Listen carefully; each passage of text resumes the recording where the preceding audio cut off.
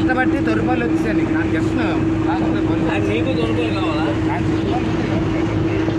పంపినా సరే నాకు పడే పల్లె ఇట్ట కదా గంటు కోరికి నువ్వే.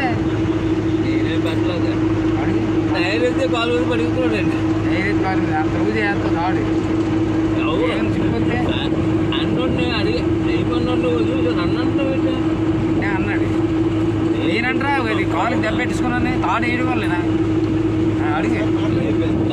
అడిగి కాలు ఎక్కువ వీడియో తీసేస్తాను